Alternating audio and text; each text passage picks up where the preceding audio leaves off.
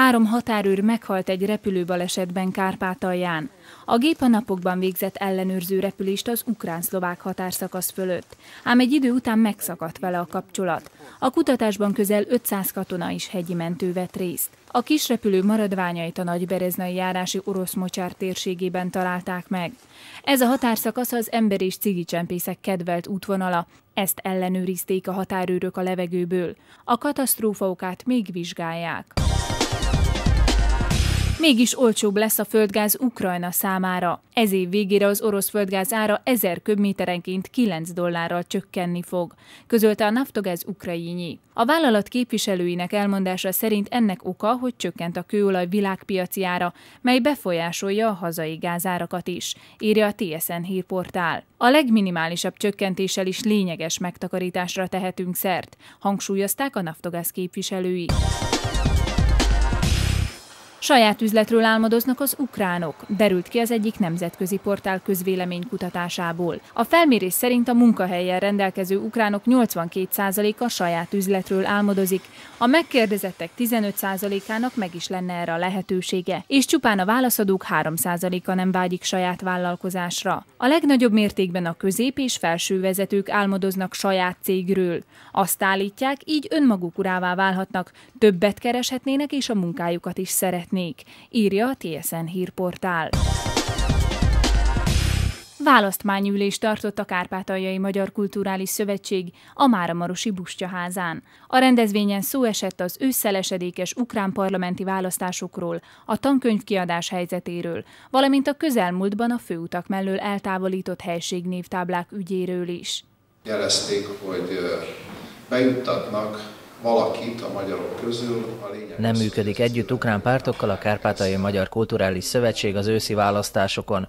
Kovács Miklós, a KMKS elnök elmondta, hogy eddig a magyar többségű választási körzet létrehozásában sem tudtak megállapodni. Az, hogy az ukránok eh, valakit, valamelyik ukrán párt, valamelyik magyart eh, felteszi a listájára, ez egy teljesen más kérdés, az olyan, mintha valaki bemegy egy eh, kenyeret vásárolni a boltba, és cigarettát próbálnak helyette adni. A Kárpátai Magyarság parlamenti képviselete az azt jelenti, hogy a magyarok önállóan döntenek arról, hogy kit küldjenek a, a parlamentbe, az ukrán hatalomtól pedig az az elvárás, hogy ezt elősegítse. Az ülésen szóba került a foci EB miatt a főutak mellől eltávolított kétnyelvű ukrán-magyar helységnévtáblák ügye is.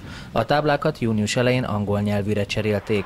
A KMKS ezért az ukrán közútkezelőhöz fordul az ügyben, hogy visszakerüljenek a régi kétnyelvű táblák. Azokat a táblákat, amelyeket a községek helyeztek ki, amelyben ukránul és magyarul voltak feltüntetve a, a helységnek, és erre a törvény lehetőséget, tehát kicserélték egy olyan táblára, amelyben ukránul és angol transzkripcióban voltak ezek a helységnemek elhelyezve.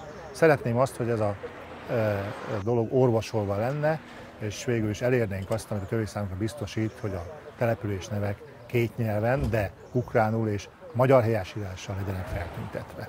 A szövetség döntött arról is, hogy levélben fordul Ukrajna oktatási minisztériumához, a tankönyvkiadók ugyanis több magyar nyelvű tankönyvet sem adtak ki. Úgy néz ki, hogy az éven sem tervezték be ezeknek az újra kiadását, de hát ez egy hosszú folyamat, már majdnem majd egy tíz éve próbál az ukrán minisztérium kihátrálni a magyar és a nemzetiségi tankönyv kiadás mögül.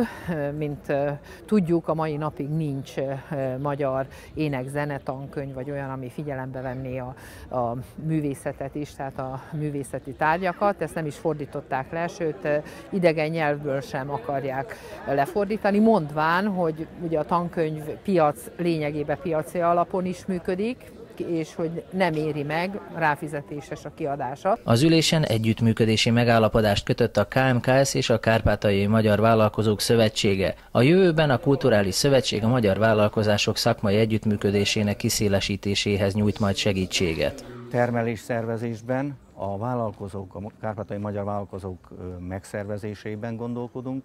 A KMKS, mint közismert politikai szervezet nagyon sok felkérést, megkeresést kap, amelyeket, hogyha továbbít a Vállalkozók Szövetségéhez, lehet, hogy mi többet tudunk hozzászólni, mert szakmailag felkészültebbek vagyunk. A KMKS következő választmányi ülése augusztusban lesz. Akkor az őszi parlamenti választásokra való felkészülés, valamint a jelölt állítás lesz a fő téma.